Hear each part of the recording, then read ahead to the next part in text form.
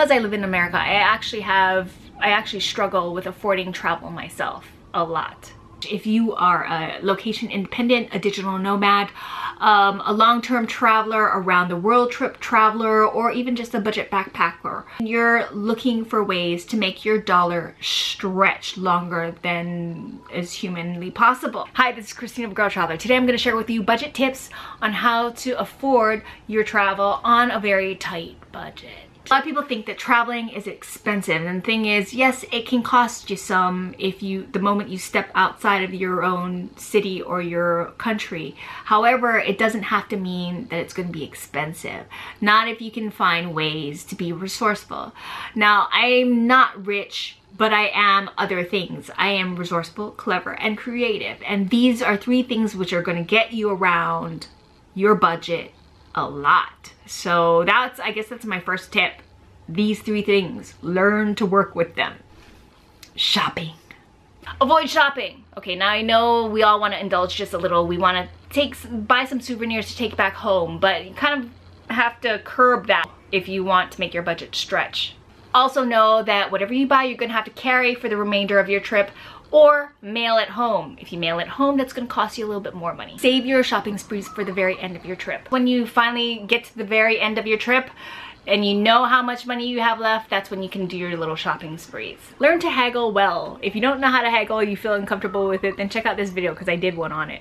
How to haggle like a pro. I'm American. I personally love fixed prices versus like flexible ones, but yes, when you can haggle well, it helps your situation a whole lot more.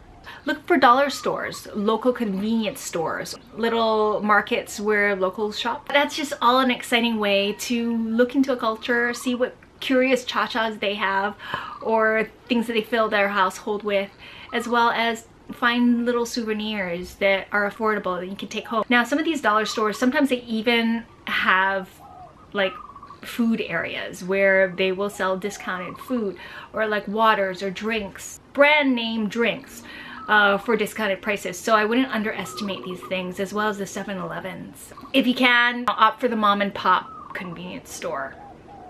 That way you'll be helping out the local economy. Shop where locals shop. If you go to like very touristy markets, then they're gonna add on their tourist rate. When you go to more local markets, they're a little more honest about keeping the rates the way they would for a local person. When I shop at a tourist market, I get the tourist prices. When I shop at a local market, I get the local prices. Food. One of my principal rules of travel is that for every splurge, I cut back on something else. And for me, that cutting back on something else generally tends to be food first. I'll cut back or cut down on meals and I'll opt for snacks instead. Generally, they say that it's healthier to eat light snacks along the way versus huge meals. Your body can't process it as well or it takes more energy to process. So for me, I, I do kind of like do a lot of snacking along the way. This also allows me to sample more of the city um, because then I can you know, get little snacks or bites here and there. I can sample different places without having to commit to a whole meal. Once you've committed to a whole meal, well, there's no space in your tummy to go off and try other things. Street food is your everyman's food. Due to socio-economic situations in the past or in the present, street food has been available to every man. I feel like whenever I'm eating street food, I'm taking a bite out of the cultural history. Usually street food will cost more like pennies to the dollar. Next one I would say is uh, small hole in the wall cafes or local restaurants and you'll see a ton of locals going into them that usually means it's popular it's fairly safe to eat um, and the food is good. This will be the more economical version to say a western hotel restaurant. Whenever I'm going to a train station, a bus terminal, or the airport, I always have to pre-plan the fact that I, I, I'm a snacker. I like to snack. I try to remember to pick up snacks before I get to those places. When Once you get to those places, um, the, the snacks can be a little more pricey than they would be locally. Some bus terminals or metro stations, or not metro station, train stations, they can have very little or limited uh, options for you. This is also where I might bring a sandwich or like a small meal with me so that I don't have to purchase it when I get there. Take a reusable water bottle. I will take an empty water bottle with me to the airport and I will refill it once I pass TSA. Um, or I'll take an empty flask with me. Uh, these days those uh, hydro flasks or like little hot and cold uh, thermal flasks are really good to take because they'll keep your water or your drinks fairly chilled or heated. Temple food, that's an option a lot of people don't think about, but certain countries, um, there are temples that offer free food in them. I think Hare Krishna is one that offers food in the United States. Um, sometimes they uh, yeah, they've been starting to charge actually.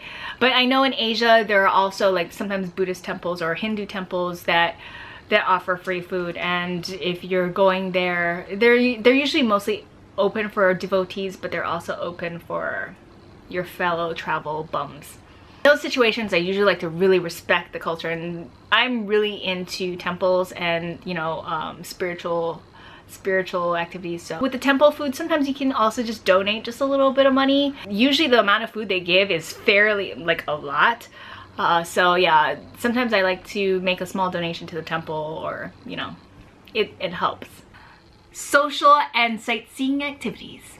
Groupon it. Groupon is a site, I'm not sure if it's global, but it's a site that offers discounts on anything from tour tours, um, tour activities, uh, yoga. Usually I use Groupon more for sightseeing adventures as well as services. Like I've, I've even tried it for like dental services because a friend of mine in Thailand kind of did that and she was like, oh, you can get a discount. So, so I went for like a, a, discounted cleaning. There is kind of like a travel section, so check that out. Avoid drinking and night clubbing. Alcoholic beverages, night clubbing, it all adds up and usually you're paying a good chunk of money uh, just to feel sick the very next day. If that's your way of social fun, then you're gonna have to boost your budget a bit more if you wanna encourage some of the, those activities. Another thing, if you're gonna book sightseeing adventures or tours, I would say book it locally. Wait till you get in the country or the city itself. When you book it online, it's gonna cost you a little bit more or a lot more than you would locally.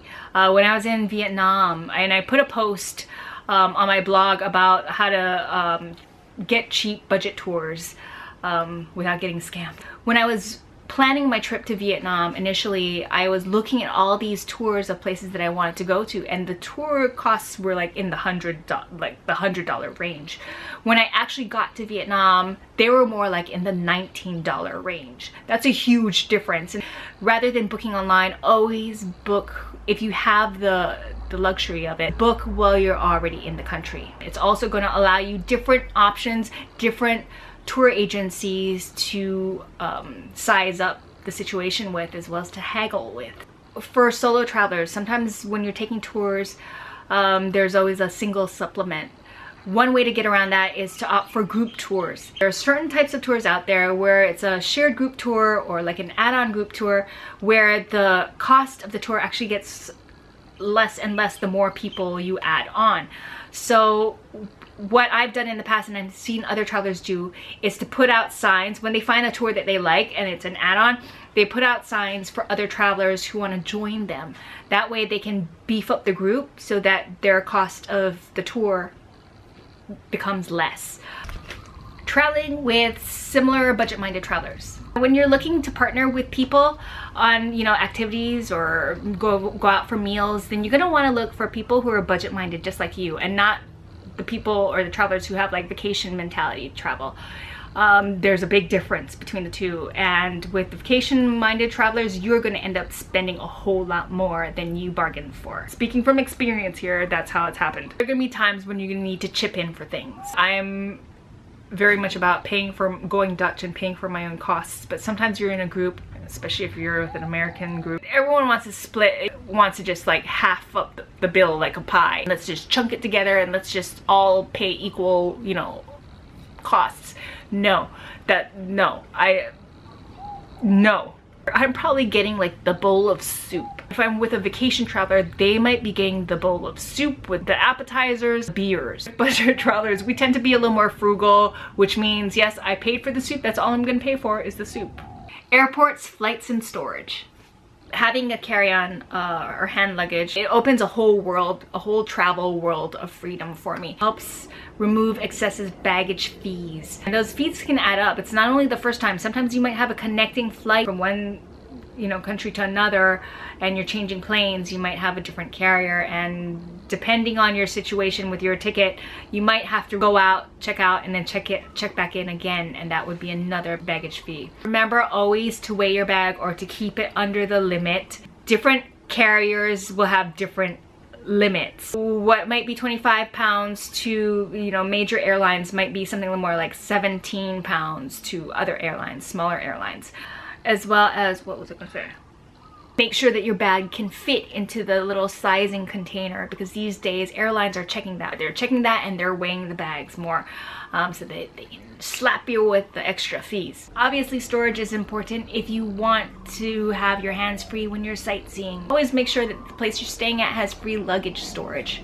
Make sure you never leave your valuables in it. In either case, I like to always pack light so that I have the option in the case I don't have free luggage uh, storage facilities in my, my guest house or my accommodation area. And I have the option to take it and leave it into something like say a train locker. And I think we're done. Um, so let me know what have I missed. What are some of your tips for making your budget stretch or your dollar stretch when you're traveling? Let me know in the comments section below.